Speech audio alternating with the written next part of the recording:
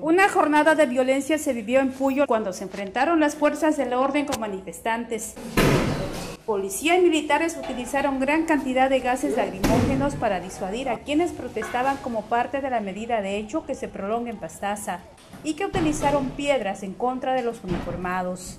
Hay momentos que se exige un poco del de, uso de los gases para minimizar la violencia de la ciudadanía. El centro de la ciudad se convirtió en la arena para una verdadera batalla campal. La ciudadanía usted lo puede ver aquí, está tomándose las calles de Pastaza, está tomándose las calles de Puyo, para poder ser escuchado, para poder tener una respuesta concreta por medio del gobierno nacional.